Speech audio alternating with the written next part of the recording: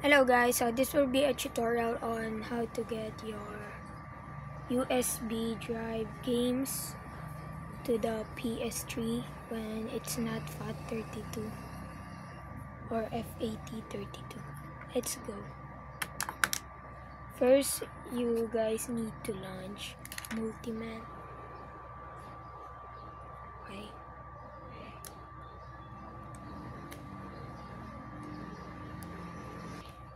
And when you're here, just click R1. Click R1 on your controller. There. And go to settings. No, I mean MMCM. Go to MMCM. Switch to multi-man mode. Switch to multi-man mode.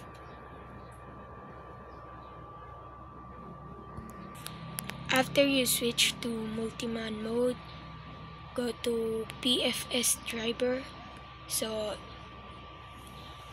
it can change your thing to so it can read your USB dot isn't FAT32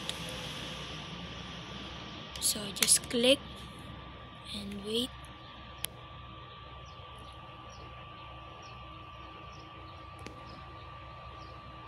There. After you do that go to file manager. And wait. And you need to click this PS3 root just double click and your USB should be this one. So let's transfer our game click this or the game that you want. So click and press circle. Then copy. After that click your left button right here. So it brings you back here. Now go to dev hdd 0 and go to PS3 ISO or ISO. And there, don't click any games yet. Just click, click the circle again and confirm so you can paste the game in here. And click yes. Click yes. And just wait.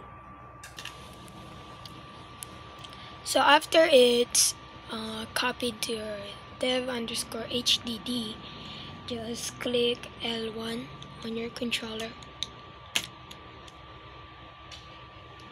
Oh, my bad. I meant to say you need to click R1. So you will go here in this menu. So after you put it in your PS3 ISO file, just refresh. Then find the game. So here's my game. It should say this. Cobra firmware or Cobra, Cobra USB required. So you go to your multiman, go here, and Switch to MMCM mode. It turns your Multiman into Cobra compatible mode. So just click and wait for it to restart. Okay, so after it's restarted, just go to game. Refresh again. Just try refreshing. There, after it's refreshed, play your game it will say please wait and I think it will start installing again. Or just move you to the PS3 main menu.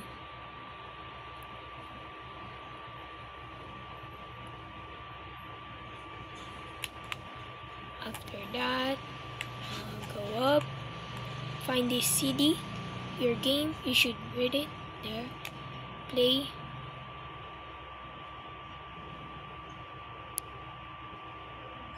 if it says uh, installing game just wait for it and after you install it you should be able to play it. There.